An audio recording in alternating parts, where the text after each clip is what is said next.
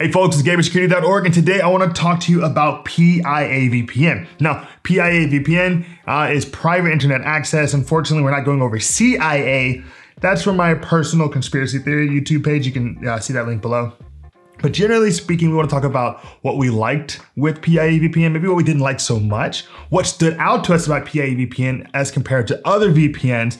Then I'm going to get into the core feature set in terms of servers and protocols, encryption, things of that nature, before showing you how fast it was for me and the few servers that I picked. Then I'm going to go over the entire mobile app experience and then just giving you a full idea of what it's like to use PIA VPN. So strap in and let's dive in to private internet access VPN.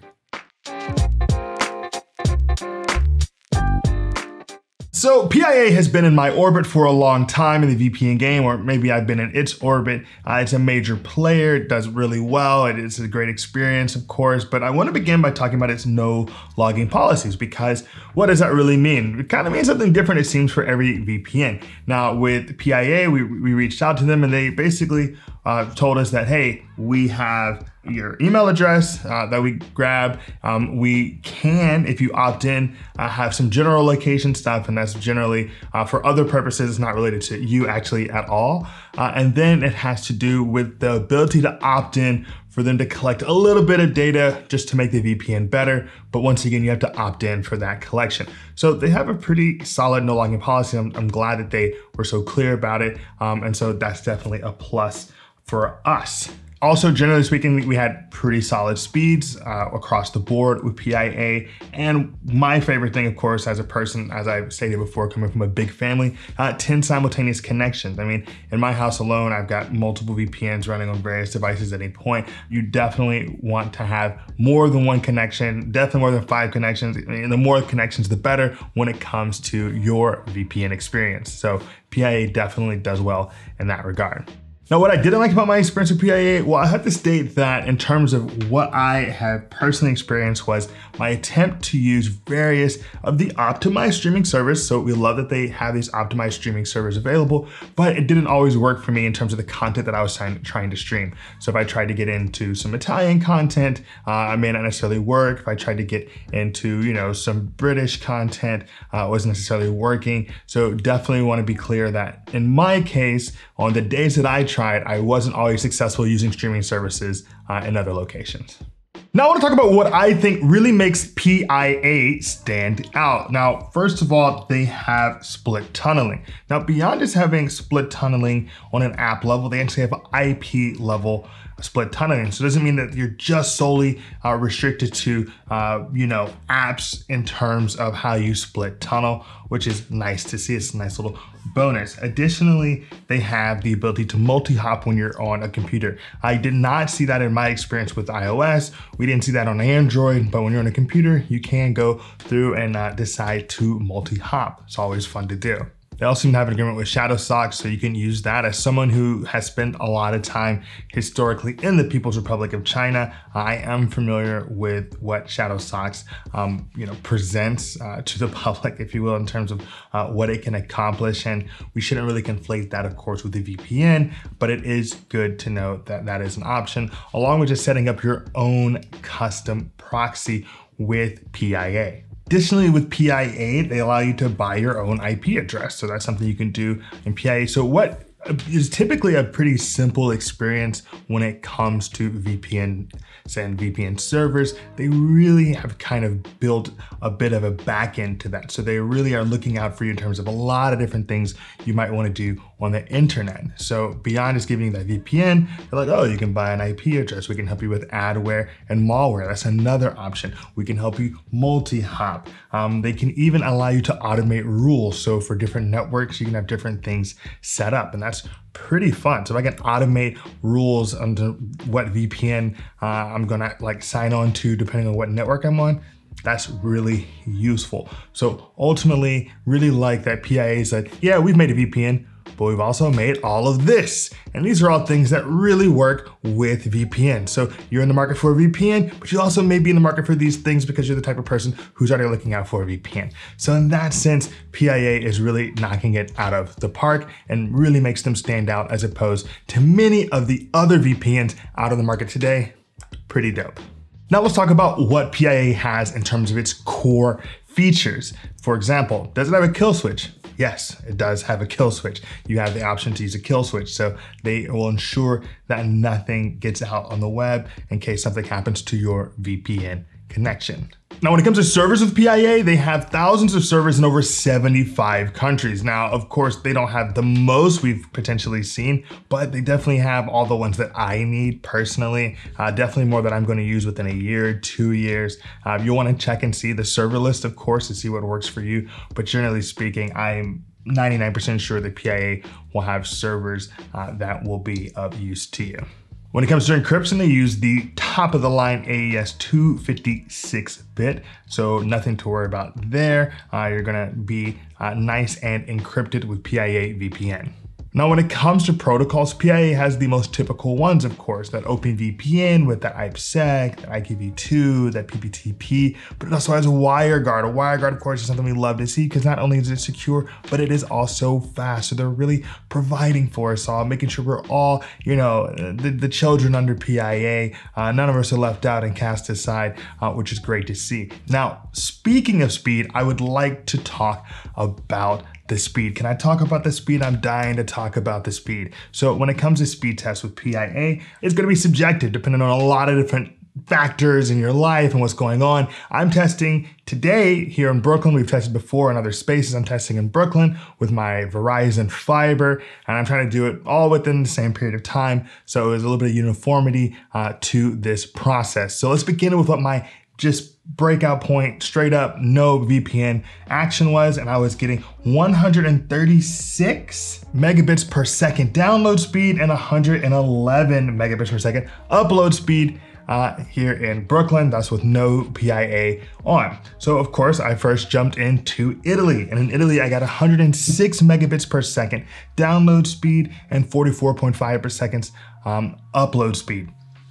When it comes to Tokyo, it was 94.5 megabits per second download speed and 40.8 upload speed.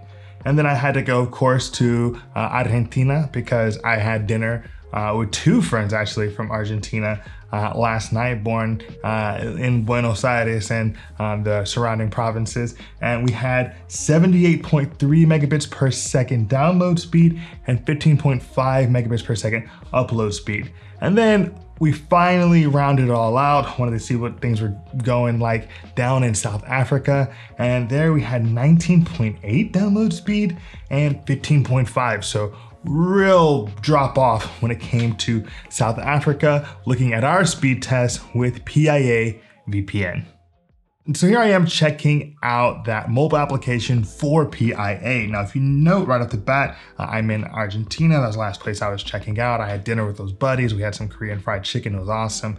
Um, now, when it comes to IPs and things of that nature, you have the Quick Connect right there in the middle. So let's just go ahead and Quick Connect to Great Britain and voila, now I'm going to Great Britain in terms of uh, UK Manchester. So now I'm in Manchester uh, according to the internet. Uh, really great. Basically, tap and you're there. I like that quick connect functionality. What was that? Maybe five, six seconds between when I tapped it, if that, uh, and being there. Now, if I wanted to go and choose a little bit more particularly, I can hit that button that says VPN servers and you'll see a load of servers. So if I want to do, for example, content streaming in the UK and London, maybe it'll work, maybe it won't, um, but you have that option. Uh, I can also go across and see Japanese streaming optimized. I can go into US East streaming optimized. Um, you can go to Chicago, New York. Uh, a little, you know, feel a little hurt. There's no Nashville here, um, but rarely is there actually a Nashville. We got DC, we have Turkey, uh, we've got UAE, Sri Lanka, get some great squid there. Uh, so just a lot of different options for you when it comes to the servers. Now beyond the servers, what else is there? Well, let's jump into that upper left-hand corner and you get not only you know your username up at the top, but you get region selection option. So It's kind of what we just saw before, but you also have the ability uh, to go and look at dedicated IP. Uh, here you'll be pasting in your token for dedicated IP. Um, you can go into the deeper settings and here you're gonna have just some general settings when it comes to Siri and things from iOS. But really I look at that protocol selection and protocols, I can go into IPsec, um, and do WireGuard, uh, you know, OpenVPN, uh, just look at the different options available. Um, you have different levels of data encryption. Of course, that AES 256 will be the, the highest available. Uh, you have the automation rules. So you can decide, hey, this is how this is going to behave when I'm on my cellular connection, uh, when I'm on my Wi-Fi connection. So when I'm out in the streets in New York versus when I'm in my apartment in Brooklyn, all of these different pieces to the puzzle um, can be found in settings. So I like the fact that there is this level of, you know, relative depth. Now, of course, on your computer, you're gonna have a lot more. That's where you're gonna see the multi-hop. That's where you're gonna see a lot of the things that we talked about in today's review. Um, you may not necessarily see on your Android or on your iOS, and I wanna be straightforward about that. Um, most VPNs do not have every single one of their settings available on every single type of device, um, you know, hardware, extension, anything of that nature. That's just not the name of the game when it comes to VPNs, because I assume probably costs a lot of money to go and do these applications um, uh, across the board. So generally speaking, that's what you're getting from uh, PIA VPN. Now, I do want to point out that they do have the privacy policy um, available to look at uh, right from there. And of course, we've gone through this. We've spoken with them uh, to get a better idea of, of what actually they're providing um, to you, um, the consumer, and what they're getting from you as a consumer. And we were actually quite happy with what they had to offer. Now, uh, I do want to point out that if you don't go into the left-hand side, you can just type in the upper right-hand corner and you know, you get a lot of different options here. So you get, you know, your subscription, how that's going. You're gonna get the ability to, you know, look at what's happening in the app at the very bottom when it comes to connection and things of that nature. Uh, you can, you know, add your favorite servers and um, at the bottom. So for me, it's gonna be, you know, that Argentina, it's gonna be that Italy, it's gonna be that Canada, that Japan. Uh, some those are places I'd like to visit uh, when it comes to using PIA. So overall, really nice experience with PIA and wanted to make sure that you understood what it was like to use it on at least an iOS device.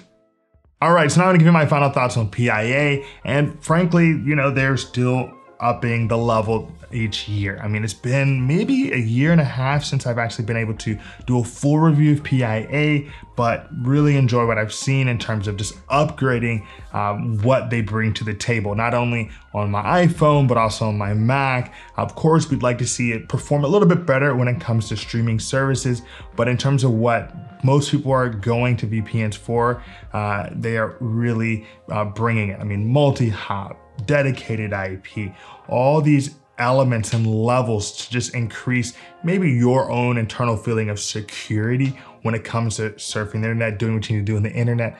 They are really like bringing it. So really impressed with PIA. They are reliable, they are solid, and they've just been in the game for a while. They know how to make consumers happy and they know how to perform for consumers in terms of like the no logging policy and actually being pretty straightforward about what it does and does not take. And it's very good in that sense. Just overall, really happy with PIA.